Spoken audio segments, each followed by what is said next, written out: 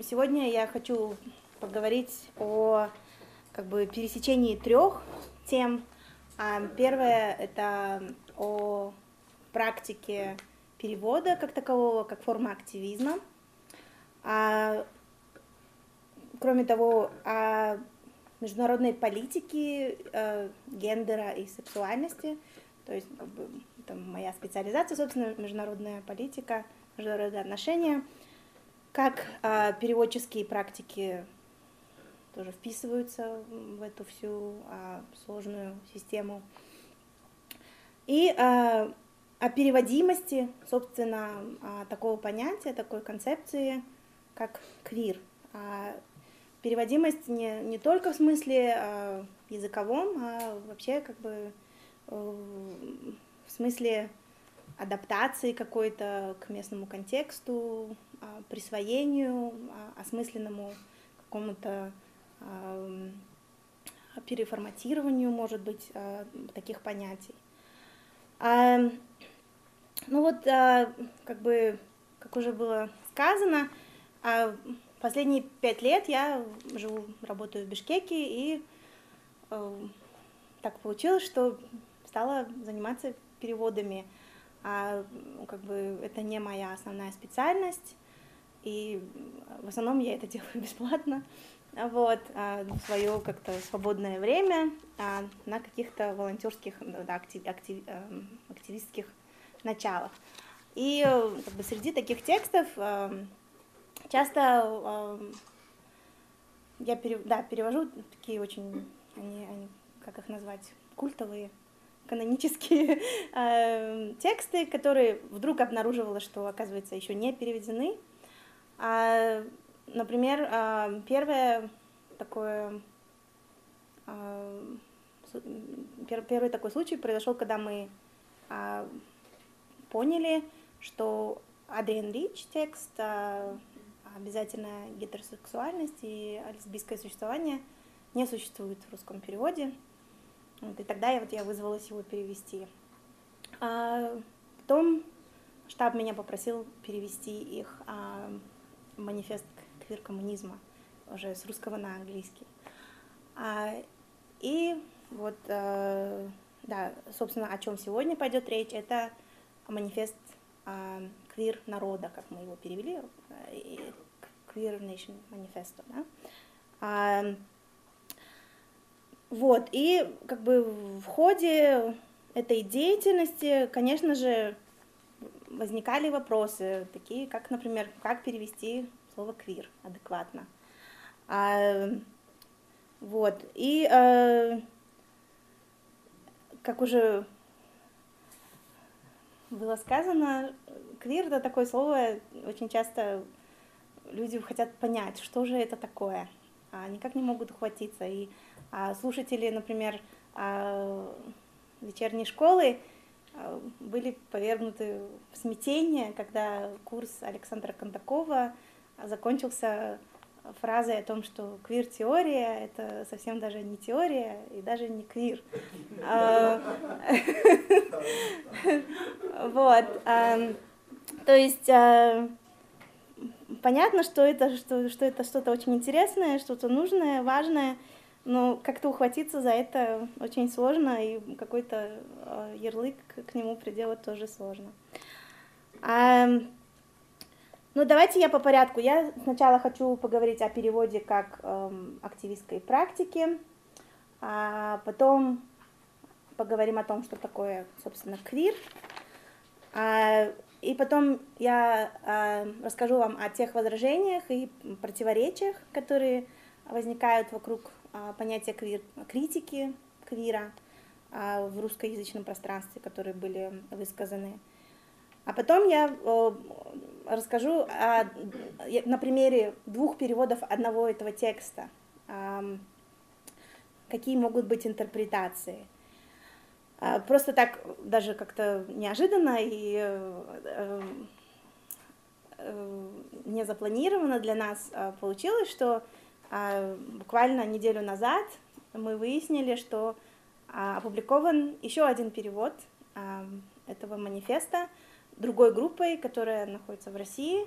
а, и при этом как бы у них э, радикально другой подход к переводу. И это такая как бы счастливая случайность на самом деле для моего анализа.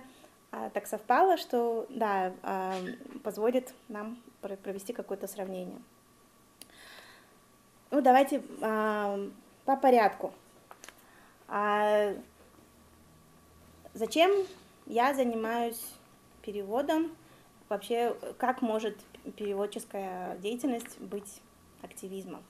А, традиционно а, как бы есть такой подход а, или как философия перевода, которая подразумевает, что а, перевод должен быть совершенно прозрачным. То есть человек, когда он читает переведенный текст, он должен не, а, не вспоминать о том, что этот текст первоначально был написан на другом языке, а как будто бы вот он читает а, первоисточник. И, например, такой пример есть из популярной культуры, да, например, очень много э, споров возникло вокруг разных версий перевода на русский язык э, книги про Гарри Поттера, ну, серии книг про Гарри Поттера. Да? А там какую-то именно а, одну переводчицу вот прям выделили, кажется, Спивак ее зовут, да? А, и она тоже, она совершенно как бы из любви э, к этому тексту э, на каких-то добровольных началах его переводила и э, при этом как бы вносила какие-то довольно радикальные свои изменения в этот текст. То есть она как-то творчески очень подходила к этому процессу, но за это на нее какая-то началась страшная травля, от определенных читателей, которые считали, что она слишком много своевольничает в переводе, вот, и э, какие-то, да, новшества привносит, которые не должны быть там. А, и тут как бы пон- понятно, что она нарушила вот эту догму невидимости переводчика. А, она как-то сделала себя достаточно видимой. Вот. А, и на самом деле вот это вот а, а, невидимость переводчика, она уже давно как бы критикуется в исследованиях, переводческих исследованиях. Это целое такое есть направление исследований. И в частности, такая критика, она может быть, например, постколониальной, например, какие тексты, тексты переводятся с каких языков, с языков и в каком направлении, да, и феминистки тоже а, в свое время предложили достаточно сильную критику переводческой практики, и э, они сравнили вот этот, этот невидимый труд переводчика с репродуктивным трудом, э, который обычно считается женским трудом, да. А, ну, всем знакомо же понятие репродуктивного труда, да. А, то есть как бы это такой труд, который прислуживающий, а, второстепенный, не заслуживающий обычно какого-то уважения, признания, а, оплаты и так далее. То есть, как бы, ну, переводчик, он тоже в такой, как бы, прислуживающей роли выступает к первоначальному творцу, там, автору, писателю, а переводчик, он вот такой вот, как бы, ну, там, второстепенный какой-то персонаж. Вот, и феминистки э, э, оспорили такой подход к переводу э, и использовали различные стратегии для достаточно радикального, агрессивного, такого креативного подхода к, к тексту, где они использовали э, всяческие приложения, а, там, вступительные слова, комментарии, сноски и, и э, формы перевода, которые, а, целью которых было показать, э, например, какую-то мизогиничность, допустим, да, оригинала, историзировать, как бы показать в контексте историчность э, гендерных, сексуальных каких-то э, практик и, норм. Вот. И э, как бы следуя уже этой феминистской критике, а, появилась и, собственно, квир-подход к переводу тоже. То есть а, есть, например, такой Уильям Бертон, который предлагает э, квир-подход к переводу как способ противодействия гомонормативности и гомонационализму в том числе. Ну, это тоже слушателям а, вечернишков знакомая концепция, да, гомонационализма. А, то есть а, такой перевод, такой подход к переводу, он должен быть антигомофобным, а, он должен а, дестабилизировать и историзировать да, а, гендер, секс э, и э, прочие нормы сексуальности. И он должен быть э, интерсекциональным, то есть принимать во внимание пересечение всяких угнетений. И как бы побочным эффектом такой переводческой практики может быть, по мнению Бертона, создание некого, некого воображения у читателя – а, о некой такой транснациональной а, квирной о транснациональном квирном сообществе, да, то есть как бы а, какая-то солидарность, которая опять-таки а, может преодолеть а, национальные границы. А, и да, когда ты читаешь да, текст о, о чем-то, что происходило, может быть, в другое время, а в другой географической местности ты можешь почувствовать какую-то близость. Вот, то есть а, становится понятно, что перевод это не просто как бы механическое какой-то там перенос значения из одной языковой системы в другую, да, а, а это тоже а, политическое действие, может быть, это какая-то, может быть, интервенция, попытка переозначить привычные понятия, привнести новые значения. А, то есть, да, это всегда какая-то часть какой-то культурной, политической, идеологической борьбы.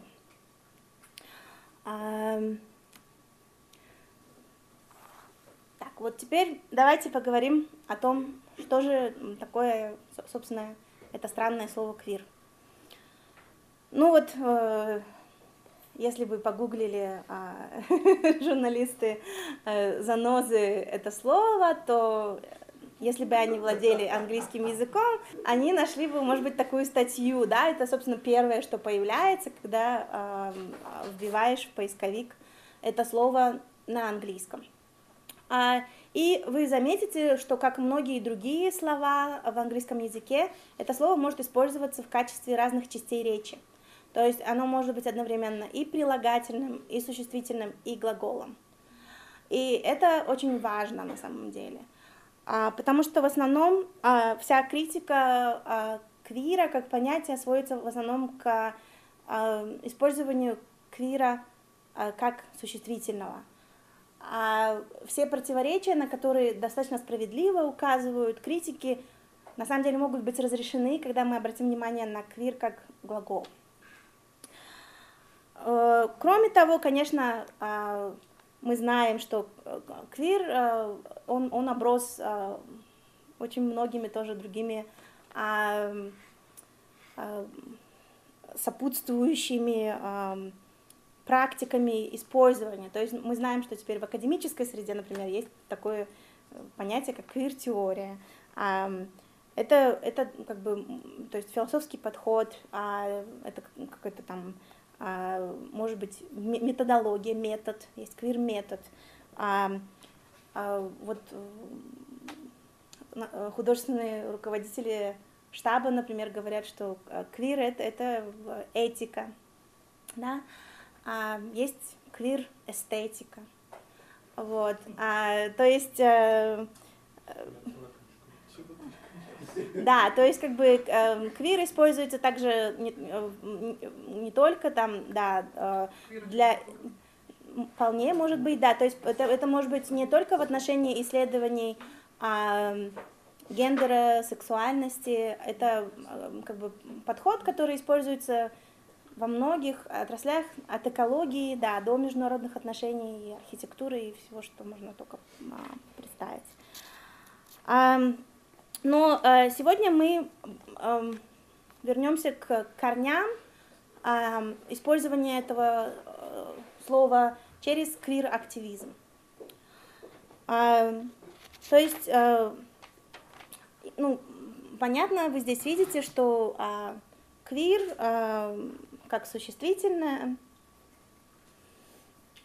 как, как прилагательное, оно э, имеет значение странного, э, какого-то даже страшного, необычного, как что-то такое, как фрики, фри, да, то, то есть как бы а, то, что вне нормы, то, что а, необычно, странно, а, нечто иное то, что выходит за рамки принятой нормы. Но как существительное, а, то, как это слово используется сейчас, это пример такой практики, с которой существует в англоязычных обществах, а, которая называется присвоение а, или апроприация. То есть в свое время это слово использовалось, ну и до сих пор, наверное, даже используется как оскорбление которое направлено на гомофобное какое-то пиоративное обозначение гомосексуального мужчины. И э, в какой-то момент э, люди, к которым так обращались, э, которых так обозначали, как бы стигматизируя их, э, решили отобрать это оружие у своих угнетателей и обернуть его против них. А, и а, здесь как бы а, работает такая а, логика, а, что называется, а, гордости, да, то есть как бы когда то, что должно тебе причинять страдания и стыд, да, вызывать у тебя, ты а, говоришь, ты переозначаешь, ты как бы а, говоришь, что а, да, я такой, и мне классно, и таким быть, и я этим горжусь даже. Вот, и теперь как бы вы не можете меня этим уязвить как-то.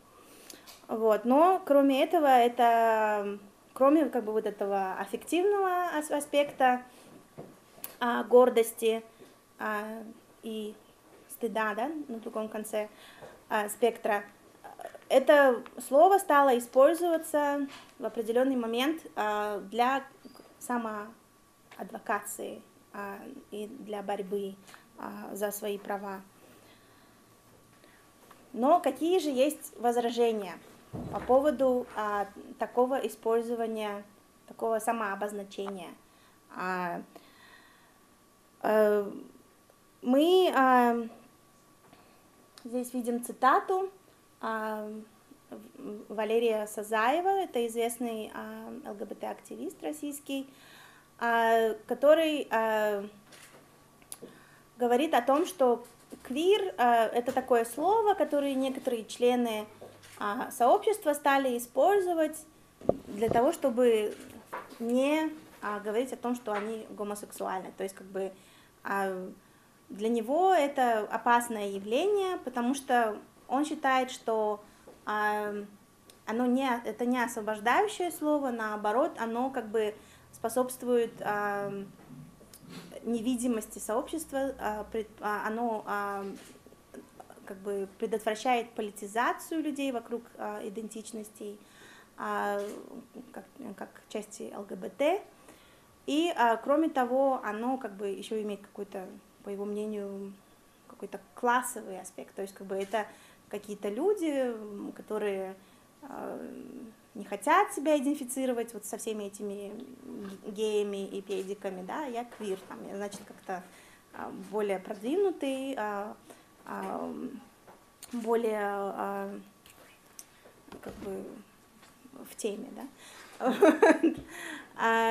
И такое еще, э, как бы, на самом деле, парадоксальное э, делает замечание, ну, как бы, отмечает такую парадоксальную э, тенденцию, что если, э, если квир это отрицание идентичности, как может быть квир идентичностью, как можно себя называть квиром, да? А, и а, если, допустим, да, как бы он немножко еще так иронизирует, что а, если все такие особенные, там какие-то уникальные снежинки, да, все квиры, то как бы если нету двух идентичных снежинок, да, нету два идентичных квира, то не может быть никакой квир идентичности. Ему как бы вот вторит Альгерта Харитонова, а, это тоже известная а, а, лесбийская феминистка российская, которая редактировала много лет такой э, самоиздательский журнал «Остров». Она тоже написала а, такую статью о квире, что это, по сути, а, совершенно не полезный термин. А, ну вот вы можете прочитать это, а, я даже могу вам зачитать более подробную цитату из ее а, статьи. Квир как отрицание. А, на мой взгляд, стремление к признанию квира – это стремление к возрастанию энтропии, к состоянию виртуального вакуума и хаосу пустоты. Это концепция разрушительная, а не созидательная. Термином квир, по сути, обозначается неутверждающее, неподвергаемое определению, определиванию сущность, а нечто отрицающее ибо не утверждается, какое это иное ненормативное, а лишь отрицается нормативное. Квир отрицает рамки гетеросексуальности и простирается в бесконечность.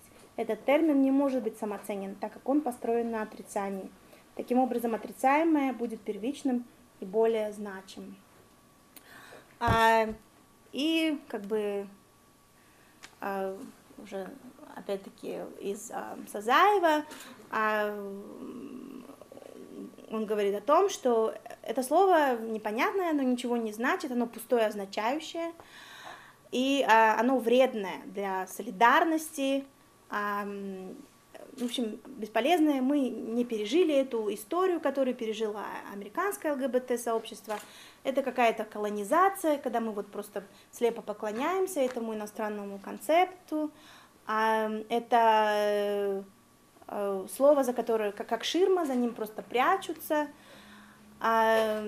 И он даже рассказывает такую историю, когда вот нужно было провести э, фестиваль в Санкт-Петербурге в восьмом-девятом году.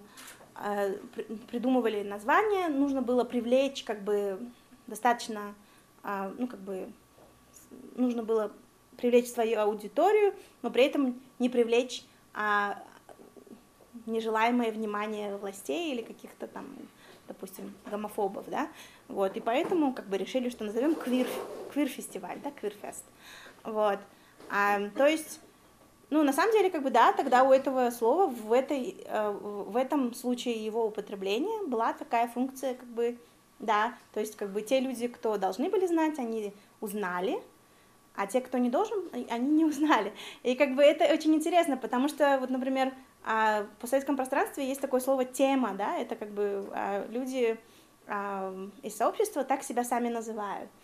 И э, опять-таки, да, оно подразумевает, что кто-то в теме, а кто-то нет.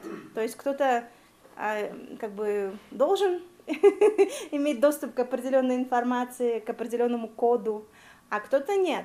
И, в принципе, как бы я не вижу в этом тоже особенной какой-то проблемы, да, то есть, например, тоже из истории а, а, группы, которая написала Queer Nation Manifesto, а, был такой известный постер а, Silence equals death, да, это а, значит, что а, молчание равносильно смерти, а, и это было в отношении молчания о ВИЧ-СПИДе. То есть э, это была такая компания плакатов, да, они развешивали эти плакаты везде, это стало так, очень таким узнаваемым образом. Там используется розовый треугольник. на тот момент э, тоже розовый треугольник не был известным символом, э, но из, люди из сообщества могли его узнать. То есть этот плакат, он служил двоякой цели. Он, с одной стороны, должен был, э, он должен был как бы привлечь две разные аудитории. И как бы он, он эту функцию выполнил. С одной стороны, как бы да, э, люди, те, кто узнавал этот треугольник, они получали свой месседж, а те, кто не узнавал, они получали свой месседж. А, то есть тут интересная тоже такая подоплека, что как бы да, может быть это слово используется как ширма, но я, например, не, не склонна а, это интерпретировать так негативно, как, например, Сазаев а, интерпретирует. А, в общем, очень а, такие э, критические а, были высказаны мнения по отношению а, к этому слову и понятию квира именно со стороны ЛГБТ-активистов. А, то есть, если мы не можем, если это не освобождающее слово и понятие, а если оно способствует а, деполитизации, если оно способствует растворению и невидимости, то а, а, как же мы тогда разрешим это противоречие? И опять-таки нам нужно вспомнить а, о значении queer как глагола, да, то есть а to queer, да, или queering, это, как, это когда что-то по, ты портишь, да, то есть ты как бы uh, to ruin, да, то есть как бы ты когда uh, усложняешь что-то, uh, ты, да, ты вот как бы немножко вот под, подгадишь, да, вот, как, да, пидорасишь, да, то есть как бы, то есть, ну, если, если опять-таки вернуться к языку, который использовался в вечерней, в вечерней школе, это опять-таки имеет отношение к остранению, да, то есть ты как бы, когда, когда ты что-то квиришь, поквириваешь, аквириваешь, ты как бы ты э, остраняешь его, ты а, а, а, заставляешь людей по-новому, более сложно увидеть это явление.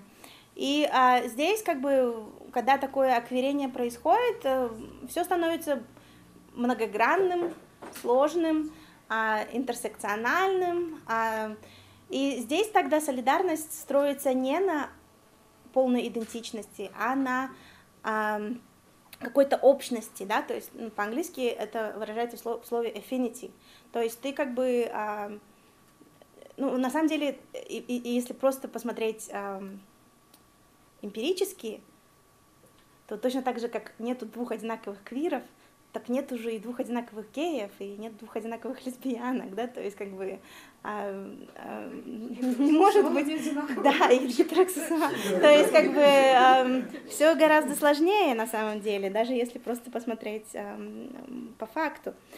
То есть, а, да, я думаю, что все эти противоречия, на которые как бы указывают а, ЛГБ, ЛГБТ-активисты, они могут быть разрешены, если мы будем помнить, что мы а, когда говорим квир, подразумеваем глагол, а, не существительное. А, и, наконец, я хочу перейти, собственно, к тексту манифеста «Квир народа». И уже немного об этом рассказал Георгий. Этот текст появляется в 90-м году он впервые был распространен. Вот, кстати, я привезла такой маленький зин, и в нем даже два манифеста. И я его привезла из, с квир-фестиваля в Литве, где я была уже два года назад, получается. Вот, и там был такой специальный, как бы, такая лавка, где можно было поменять, поменяться зинами или купить зины. Вот, и мне этот подарили, и у него какой-то очень интересный вид, то есть э, тут всякие стоят отметки, и э, кто-то написал свое имя и на арабском языке, и email адрес, то есть сама эта книжка тоже путешествовала где-то, ее читали, э, и она путешествовала в том числе через, через Литву, в Кыргызстан. И мне кажется, что это тоже такое интересное, а, что этот текст, он на самом деле путешествует, он, он везде, видимо, какие-то приобретает а, значения местные для тех людей, кто его читает, и, может быть, переводит тоже на другие языки. А, То есть э, этот текст э, был распространен впервые в 90-м году на э, довольно-таки печальном э, прайде в Нью-Йорке. Э, почему печальном? Потому что как раз в это время бушует э, эпидемия ВИЧ-СПИДа, э, при преступном гомофобном попустительстве правительства, которое ничего не делает а, для того, чтобы предоставить людям а, медикаменты, медицинскую помощь. А, то есть эта болезнь полностью как бы ассоциируется с какими-то маргинализированными группами, считается, что это их проблема, это Бог их наказывает за, за то, как они живут. И да, соответственно, как бы люди умирают просто в каких-то катастрофических количествах.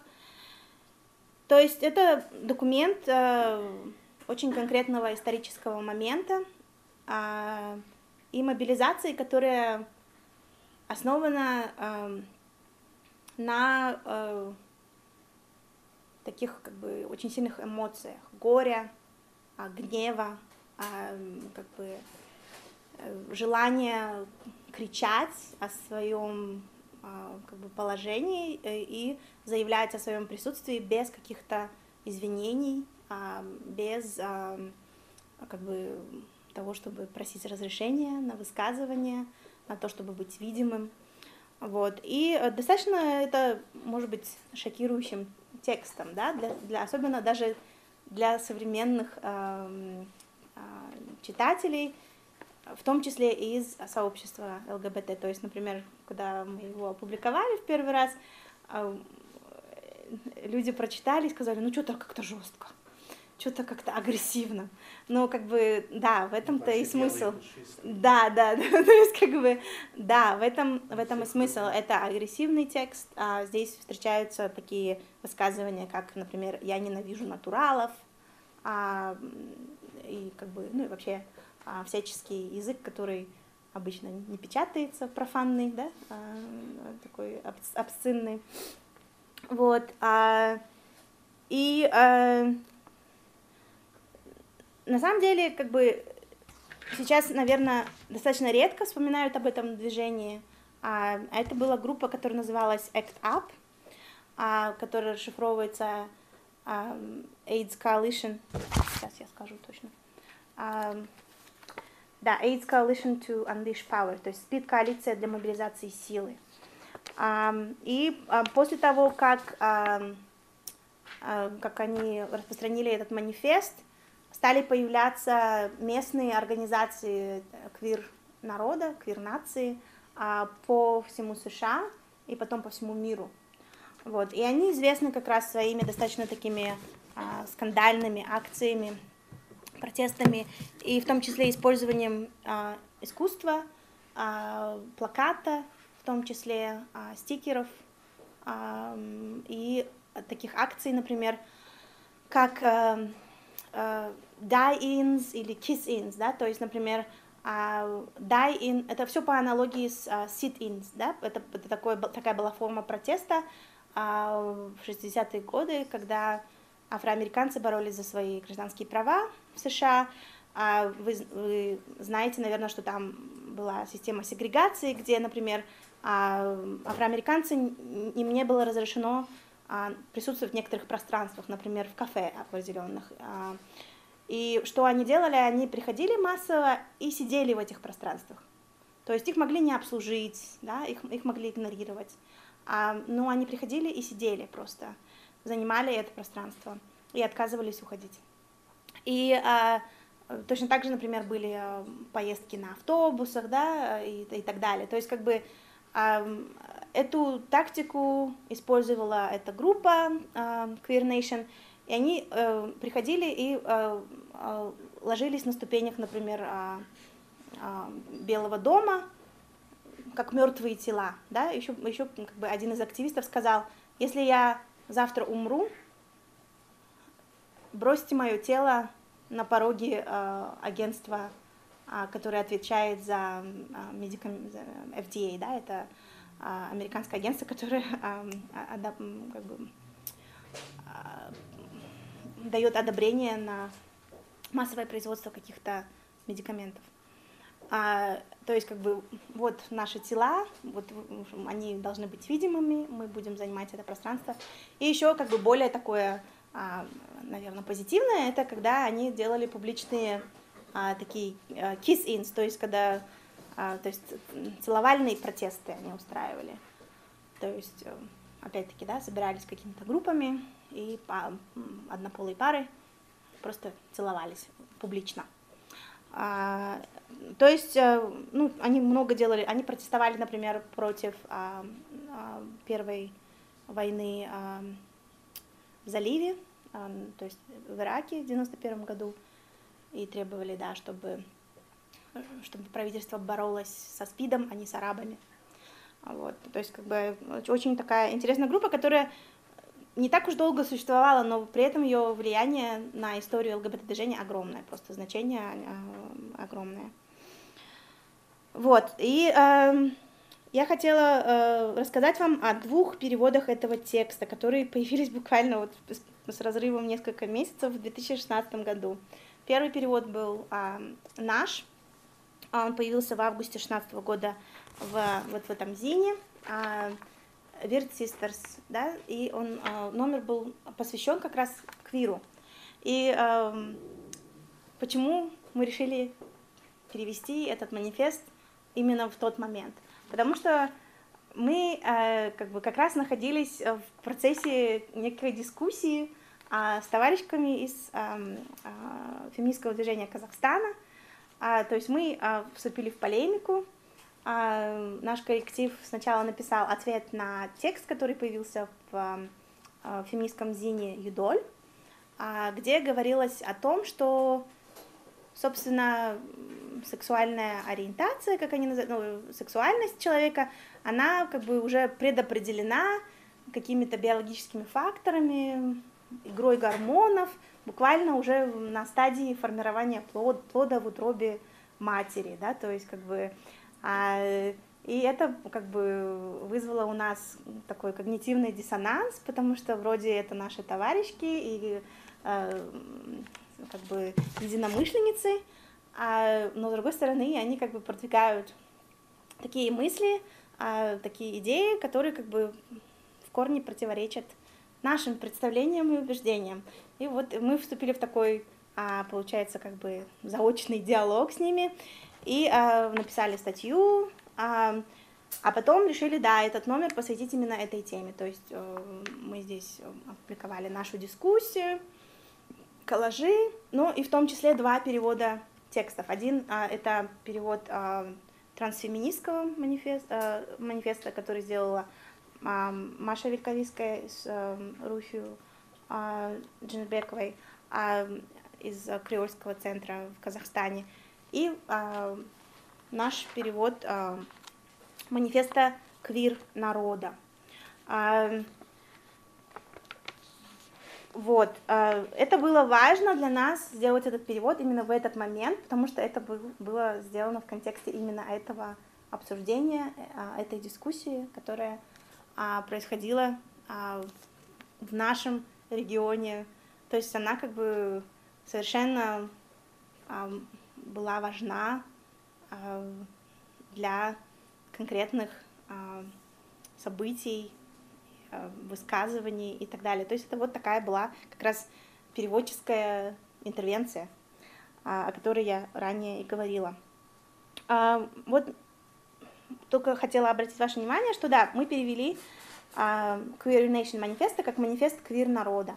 И здесь интересно тоже, как бы, например, а, меня коробило вот это слово нация, да, потому что, опять-таки, эм, нация это проблематичная а, концепция, особенно когда в сочетании со словом квир.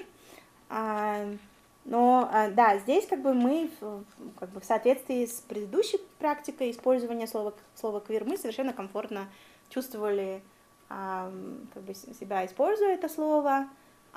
И в большинстве случаев мы так его и переводили квир, как квир. А в некоторых случаях, а, правда, использовали какие-то конкретные а, слова, если, если этого требовал текст. И а, в том числе мы использовали слово извращенец, извращенка. а, как такой эквивалент а, этому слову. В самом манифесте тоже обсуждается, почему квир. А, ах, нам что, обязательно использовать это слово? Оно проблематично. У каждого гея и лесбиянки есть свое мнение по этому поводу. Для некоторых оно означает странный, эксцентрик или типа загадочный. Это ничего, нам нравится. Но некоторым мальчикам и девочкам оно не нравится. Они думают, что они скорее нормальные, чем странные. А для других квир ассоциируется с ужасными воспоминаниями о подростковых страданиях. Извращенец. Это слово звучит и сладко, и горько одновременно, и немного причудливо. В лучшем случае, в худшем оно причиняет боль и оскорбляет. Почему бы нам не использовать гей? Это слово намного веселее. И оно ведь является синонимом слова «счастливый», то есть это устаревшее значение слова «гей» в английском языке. Когда вы, воинствующие радикалы, уже повзрослеете и вырастете из фантазии, э, фантазии о том, что вы особенные. Почему квир? Ну да, гей это здорово. У этого слова есть свое место. Но просыпаясь утром, многие геи и лесбиянки чувствуют гнев и отвращение, несчастье. Поэтому мы сделали выбор называть себя квирами, то есть извращенцами. Используя слово квир, мы напоминаем себе о том, что нас воспри... как нас воспринимает весь остальной мир. Это способ сказать себе, что нам нет надобности быть остроумными и очаровательными людьми, скрывающими детали своей личной жизни и существующими на задворках гетеромира. Мы используем квир как мужчины-геи, которые любят лесбиянок, и как лесбиянки, любящие быть квирами. Квир, в отличие от гей, не означает мужчина. И когда мы используем это слово с другими геями и лесбиянками, таким образом мы предлагаем объединить наши силы и забыть временно наши разногласия, пока перед нами стоит коварный общий враг. Да, извращенка, извращенец может и звучит группа, но это также озорное и ироничное оружие, которое мы украли из рук гомофобов и используем против них. То есть а, здесь как бы вот в самом тексте манифеста обсуждается, почему а, квир, а, в том числе потому что это гендерно-инклюзивный какой-то термин.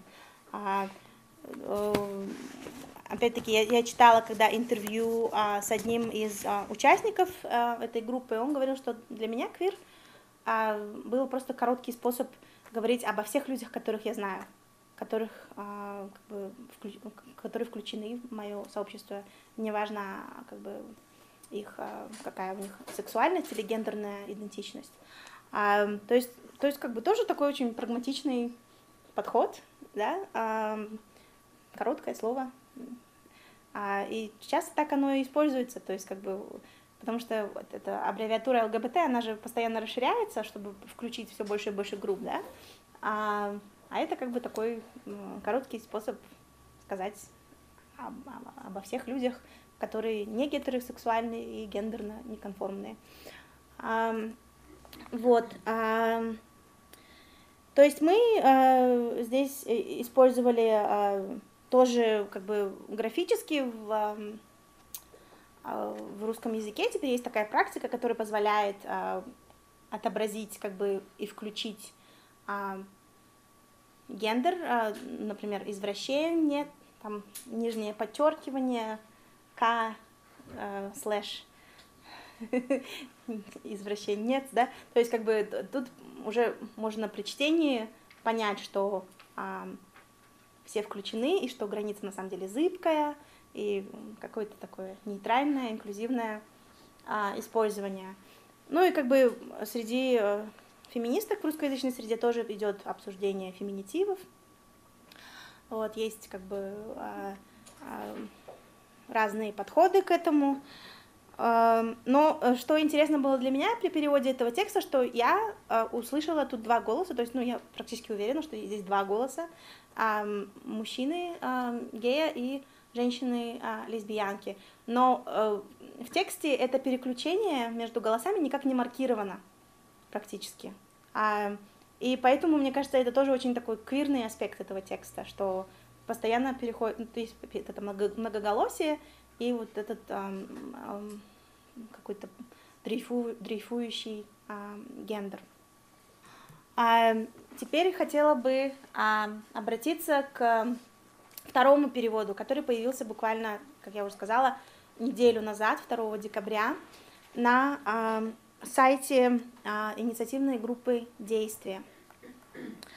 Э, перевод этот э, сделан группой людей, несколько человек участвовали. Непосредственно переводчицей была Гульнара Курманова, а редактировала Татьяна Лихоткова. А у этого перевода есть также вступительное, вступительный текст, вступительное слово. А, а, и авторами этого вступительного текста стали Игорь Синельников и Валерий Сазаев. Вот, видимо, то есть, как бы эта группа, этой группе не попался наш перевод. Они самостоятельно решили его перевести. И, как ни странно, идея перевода принадлежала Валерию Сазаеву, тому самому человеку, который хотел, чтобы квир умер уже наконец.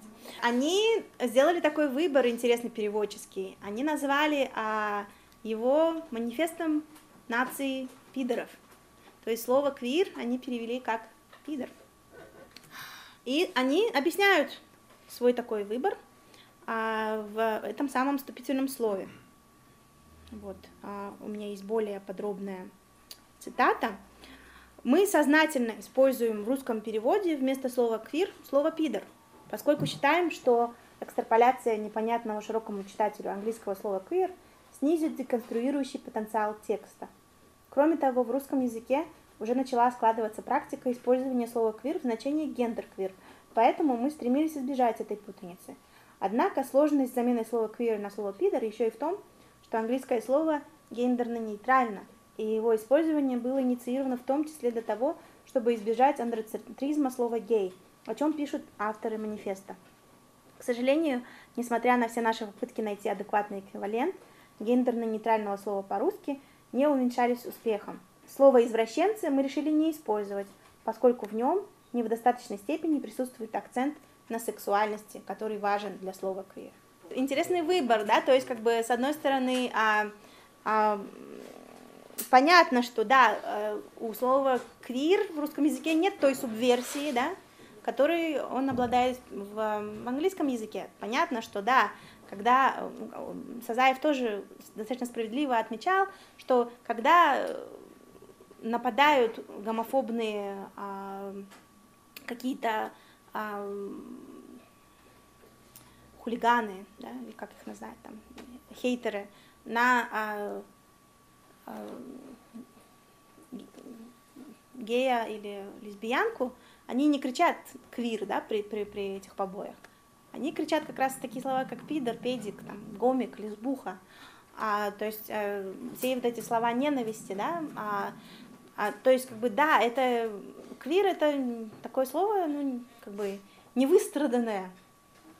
То есть а, нету для Сазаева, видимо, в слове квир субверсии, нету вот того вызова, а, нет а, а, именно вот этого присвоения, то есть как бы а, присвоение а, слова пидор пытаются совершить а, в этом тексте. Тут как бы, да, нет гендерной какой-то инклюзивности, опять-таки очень партикулярная а, вот эта идентичность а, гомосексуального мужчины становится какой-то универсализированной, да, а, и как бы здесь вот что прочитывается, да, в, в, в этих попытках найти точный перевод слова квир, как раз вот этот поиск какой-то аутентичности и сопоставимости между языками, да, то есть как бы а это опять-таки эм, показывает, указывает на такое понятие языка и перевода, которое э, говорит, ну, как бы считает, что а, у, у, каждое слово она, оно э, соотносится с некой действительностью в реальности, да. А, то, что я предлагаю, это что нам нужно думать об, об этом больше в ключе как бы каких-то а, языковых игр, да, то есть как бы вот это понятие э, Виткинштейновское о том, что э, у слова нету значения как такового, у него это значение, оно не должно быть точно определено, оно выявляется в том, как слово используется на практике, да, в языке. То есть, э, если мы будем думать об этом, помнить, э, то мы поймем, что каждый за каждым переводом, а, за каждым а, актом произнесения слова квир и за каждым переводом слова квир стоит очень конкретная а, история борьбы, дискуссии идеологической, политической и культурной.